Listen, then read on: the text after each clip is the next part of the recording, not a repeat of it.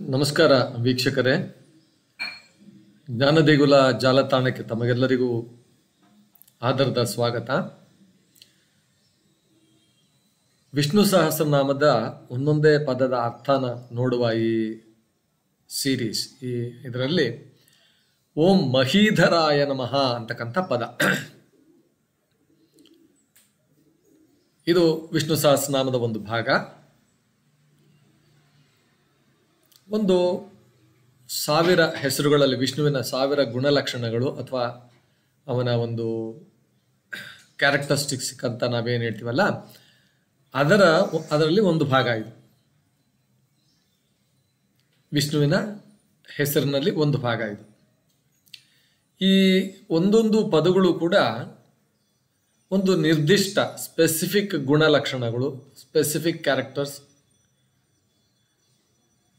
ಅಂಶವನ್ನು ಎತ್ತಿ ತೋರಿಸುತ್ತದೆ ಅಂತಕ್ಕಂಥದ್ದು.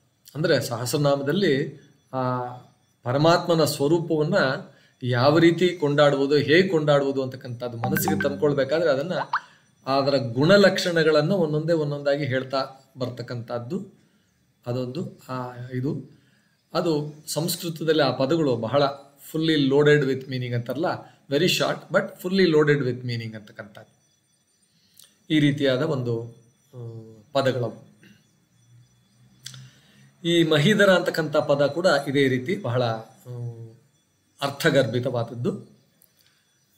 ಇದರ ಅರ್ಥನ ನೋಡೋಣ. ಅಂದರೆ ಹೌ ಇಟ್ ಈಸ್ ಡಿರೈವ್ಡ್ ಅಂತಕ್ಕಂಥದ್ದು. ಮಹಿ ಅಂತಂದರೆ ಮಹಿಪಾಲ, ಈ ಥರ ಎಲ್ಲ ಹೇಳ್ತಾರಲ್ವ? ಅಂದರೆ ಭೂಮಿಗೆ ಮಹಿ ಅಂತಕ್ಕಂಥದ್ದು ಅರ್ಥ. ಮಹಿ ಅಂತಂದರೆ ಭೂಮಿ ಒಂದೇ ಅಲ್ಲ, ಒಂದು ರೀತಿಯ ಭೌತಿಕ ಕ್ಷೇತ್ರನ ಸೂಚಿಸುತ್ತೆ. ಫಿಸಿಕ್ಯಾಲಿಟಿ ಅಂದರೆ ಎಲ್ಲ ರೀತಿಯ ಇದಕ್ಕೆ ಸಂಬಂಧಪಟ್ಟಂಥ ಭೂಮಿಗೆ ಸಂಬಂಧಪಟ್ಟಂಥ ಎಲ್ಲ ಒಂದು ಅಂಶಗಳನ್ನು ಅದು ಸೂಚಿಸುತ್ತೆ ಅಂತ ಹೇಳ್ಬೋದು. ಮಹಿ ಅಂತಕ್ಕಂಥದ್ದು. ಇನ್ನು ಧರ ಧರ ಅಂದರೆ ಧರತೆ ಅಂದರೆ ಅದನ್ನು ಹಿಡಿದಿಟ್ಟುಕೊಳ್ಳುವುದು, ಅದನ್ನು ಕಂಟ್ರೋಲ್ ಮಾಡ್ತಕ್ಕಂಥದ್ದು, ಅಥವಾ ಅದನ್ನು ಒಂದು ರೀತಿ ಬೆಂಬಲಿಸುವುದು ಅಂತ ಹೇಳ್ಬೋದು. ಇನ್ನು ಮಹೀಧರ ಅಂದರೆ ಈ ಭೂಮಿಯನ್ನು ಆಳುವ, ಭೂಮಿಯನ್ನು ಹಿಡಿದಿಟ್ಟುಕೊಳ್ಳುವ, ಭೂಮಿಯನ್ನು ಕಂಟ್ರೋಲ್ ತೆಗೆದುಕೊಳ್ತಕ್ಕಂಥ ಒಂದು ಅರ್ಥದಲ್ಲಿ ಮಹೀಧರ, ಹ ಅಂತಕ್ಕಂಥದ್ದು ಅಂದರೆ ಭೂಮಿಯ ಮೇಲೆ ಸಮಸ್ತವನ್ನೂ ಕೂಡ ತಾನು ಅದನ್ನು ಆಳುವವನು ಅಂತ ಹೇಳ್ಬೋದು. ಇನ್ನು ಈ ಮಹಾವಿಷ್ಣುವಿಗೆ ಇದರ ಪ್ರಸ್ತುತತೆ ಹೇಗೆ ಅಂದರೆ ಹಿಂದೂ ಪುರಾಣಗಳಲ್ಲಿ ವಿಷ್ಣು ತತ್ವವನ್ನು, ವಿಷ್ಣು ಅಂತಕ್ಕಂಥ ಒಂದು ತತ್ವ. ಅಂದರೆ ಎಲ್ಲ ರೀತಿಯಲ್ಲೂ ಒಂದು ಮೂರು ಭಾಗಗಳಾಗಿ ಅದನ್ನು ವಿಂಗಡಿಸಿದ್ದಾರೆ. ಅದರಲ್ಲಿ ಒಂದು ತತ್ವ ಏನಂತಂದರೆ ಈ ಬ್ರಹ್ಮಾಂಡದ, ಈ ಎಲ್ಲ ಚರಾಚರ ವಸ್ತುಗಳು, ಎಲ್ಲ ನಾವು ಏನೇನು ಕಾಣ್ತೀವೋ, ನಾವು ಏನೇನು ಕಾಣದ್ದು, ಕಾಣತಕ್ಕಂಥದ್ದು, ಕಾಣದೇ ಇರತಕ್ಕಂಥದ್ದು, ಎಲ್ಲವನ್ನೂ ಕೂಡ ರಕ್ಷಣೆ ಮಾಡತಕ್ಕಂಥ ಒಂದು ಅಥವಾ ಪೋಷಣೆ ಮಾಡತಕ್ಕಂಥ ಒಂದು ಅಂಶ ಅಂತ ಅದನ್ನು ಚಿತ್ರಿಸಲಾಗಿದೆ. ಸಾಕಷ್ಟು ಸಲ ಇದನ್ನು ಹೇಳಿದ್ದೇನೆ. ಇರಲಿ. ಅಂದರೆ ಇಡೀ ಬ್ರಹ್ಮಾಂಡವನ್ನು ರಕ್ಷಕ ಆ ರೀತಿಯಲ್ಲಿ ಆತನನ್ನು ನೋಡಲಾಗ್ತದೆ. ಆ ಅಂದರೆ ಆ ಒಂದು ಅಂಶ. ಈ ಅಂಶವನ್ನು ನಾವು ಅದು ಪುರುಷನ ರೂಪದಲ್ಲಿ ನೋಡ್ತಕ್ಕಂಥದ್ದು. ಪರ್ಸಾನಿಫೈಯಿಂಗ್ ಅಂತ ನಾವು ಹೇಳ್ತೀವಲ್ಲ? Personifying a character personifying a ಗುಣಲಕ್ಷಣವನ್ನು ಒಂದು ಪರ್ಸಾನಿಫಿಕೇಶನ್ ಮಾಡಿ ನೋಡ್ತಕ್ಕಂಥದ್ದು. ಈ ರೀತಿ. ಇದು ಒಂದು ರೀತಿ ಸೃಷ್ಟಿ, ಸಂರಕ್ಷಣೆ, ವಿನಾಶ ಅಂತಕ್ಕಂಥ ಈ ಎಲ್ಲದರ ನಡುವೆ ಒಂದು ರೀತಿ ಬ್ಯಾಲೆನ್ಸ್ ಮಾಡೋದು. ಸಮತೋಲನವನ್ನು ಖಚಿತಪಡಿಸಿಕೊಳ್ಳಲು ಒಂದು ಅಂಶ. ಅದು ಅದು ಈ ಟೇಕ್ಸ್ ಕೇರ್ ಆಫ್ ದಟ್ ಅಂತಕ್ಕಂಥದ್ದು. ಮಹೀಧರಹ ಅಂತ ಪದ ಭಗವಾನ್ ವಿಷ್ಣುವಿನ ಪಾತ್ರವನ್ನು ಭೂಮಿಯ ಮೇಲೆ. ಇದನ್ನು ನಾವು ಆಗಿನ ಕಾಲದಲ್ಲಿ ಭೂಮಿಯ ಮೇಲೆ, ಭೂಮಿಯ ಒಂದು ಇದು ಗ್ರೌಂಡ್ ಅಂತ ಹೇಳ್ತಾ ಇದ್ವಲ್ಲ, ಅದು ದಟ್ ವಾಸ್ ದಿ ಅದರ ಮೇಲೆ ಬ್ರಹ್ಮಾಂಡದ ಅಡಿಪಾಯದ ಆಧಾರವಾಗಿ ಎತ್ತಿ ತೋರಿಸುತ್ತದೆ ಅಂತಕ್ಕಂಥದ್ದು ವಿಷ್ಣುವರ ಪಾತ್ರವನ್ನು ಭೂಮಿಯ ಮತ್ತು ಇಡೀ ಬ್ರಹ್ಮಾಂಡದ ಒಂದು ಬೇಸ್ ಅಡಿಪಾಯದ ಆಧಾರವಾಗಿ ಎತ್ತಿ ತೋರಿಸುತ್ತದೆ. ಇದು ಆ ಶಕ್ತಿಯ, ಆ ಪರಮಾತ್ಮ ಅಂತ ನಾವೇನು ಕರಿತೀವಲ್ಲ, ಆ ವಿಷ್ಣು ಅಂತ ನಾವೇನು ಕರಿತೀವಲ್ಲ, ಆತನ ಸಮರ್ಥನೀಯ ಶಕ್ತಿ, ಅಂದರೆ ಹೌ ಕೇಪಬಲ್ ಕೇಪಬಿಲಿಟೀಸನ್ನ ಇದು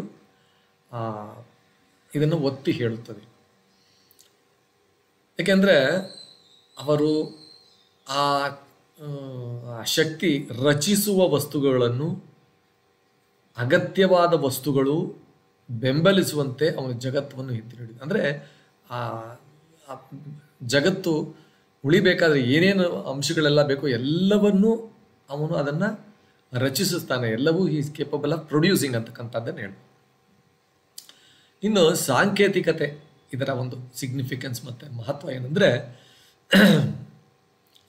ಮಹಾವಿಷ್ಣು ಆತನ ಬೆಂಬಲವನ್ನು ವಿವಿಧ ವಸ್ತುಗಳಿಗೆ, ಅಂದರೆ ಪೋಷಕ ವಸ್ತುಗಳಿಗೆ ಹೋಲಿಸುವುದು. ಅಂದರೆ ಒಂದಕ್ಕೊಂದಕ್ಕೆ ಇಂಟರ್ ಕನೆಕ್ಟೆಡ್ನೆಸ್ ಅಂತ ಒಂದು ರೀತಿಯಲ್ಲಿ ನೋಡ್ಬೋದು. ಹತ್ತಿಯನ್ನು ಬೆಂಬಲಿಸುವ ಬಟ್ಟೆ ಥರ ಮಡಿಕೆಯನ್ನು ಬೆಂಬಲಿಸುವ ಮಣ್ಣಿನ ಥರ ಆಭರಣಗಳನ್ನು ಬೆಂಬಲಿಸುವ ಚಿನ್ನದ ಥರ ಅಂದರೆ ಬೇಸಿಕ್ ಸಬ್ಸ್ಟೆನ್ಸ್ ಹತ್ತಿನೇ ಬೇಸಿಕ್ ಸಬ್ಸ್ಟೆನ್ಸ್ ಮಣ್ಣೆ ಬೇಸಿಕ್ ಸಬ್ಸ್ಟೆನ್ಸ್ ಚಿನ್ನನೇ ಇಲ್ಲಿ. ಆದರೆ ಇಟ್ ಗಿವ್ಸ್ ಡಿಫ್ರೆಂಟ್ ಫಾರ್ಮ್ಸ್ ಹತ್ತಿ, ಬಟ್ಟೆ ಥರ ಆಗ್ತದೆ. ಅಂದರೆ it manifest in different forms ಅಂತಕ್ಕಂಥದ್ದು.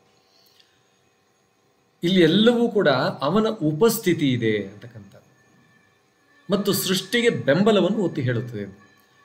ಅಂದರೆ, ಬಟ್ಟೆನಲ್ಲಿ ಹತ್ತಿ ಹೇಗೆ primary we can say raw material ಅಂತ ಹೇಳ್ಬೋದು.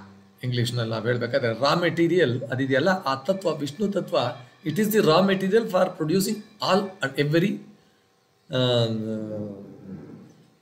ಏನು ಹೇಳ್ತಾರೆ, ವಸ್ತುಗಳು ಅಂತಕ್ಕಂಥದ್ದು.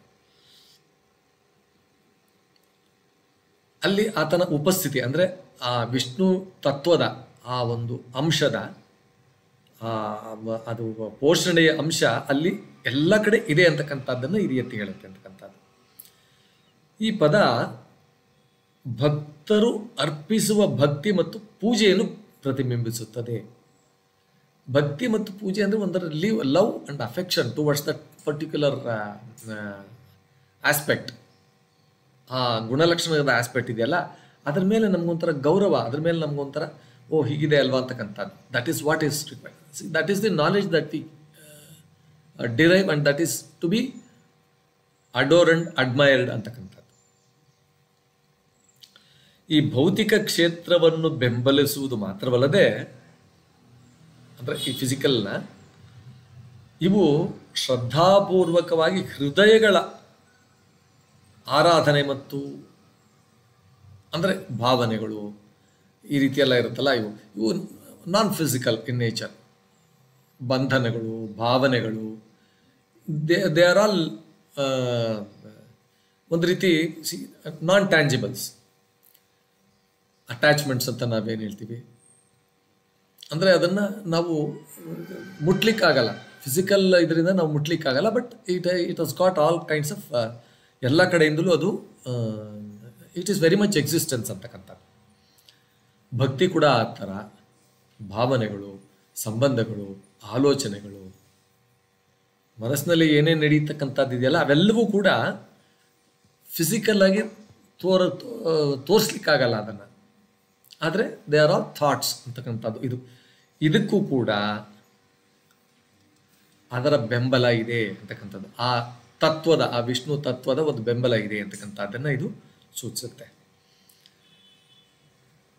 ಅಂತಿಮವಾಗಿ ದೈವಿಕತೆ, ಭಕ್ತಿಗಳು ಇವೆಲ್ಲನೂ ಎಲ್ಲ ರೀತಿಯ ಭಕ್ತಿಗಳು finally it reaches the divine ಇದು ಡಿವಿನಿಟಿ ಅಂತ ಹೇಳ್ಬೋದು. ಅನ್, ಆ ರೀತಿಯ ಕಲ್ಪನೆಯನ್ನು ಇದು ಪ್ರತಿಬಿಂಬಿಸುತ್ತೆ ಅಂತಕ್ಕಂಥದ್ದು.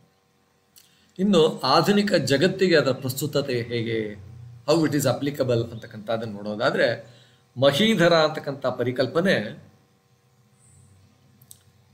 ಬರೀ ಹಳೆ ಪ್ರಾಚೀನ ಧಾರ್ಮಿಕ ಸಂದರ್ಭವೊಂದೇ ಅಲ್ಲ, ಈಗಿನ ಕಾಲಕ್ಕೂ ಕೂಡ, ಎಲ್ಲ ಕಾಲಕ್ಕೂ ಕೂಡ ಅದು ಪ್ರಸ್ತುತ ಇದೆ ಅದರ, ಅಂದರೆ it is applicable it is relevant to even to this day ಅಂತಕ್ಕಂಥದ್ದು ಒಂದು ಪರಸ್ಪರ ಸಂಪರ್ಕ, ಪರಸ್ಪರ ಇಂಟರ್ ಕನೆಕ್ಟೆಡ್ನೆಸ್ ಅಂತ ಹೇಳ್ತಾರಲ್ಲ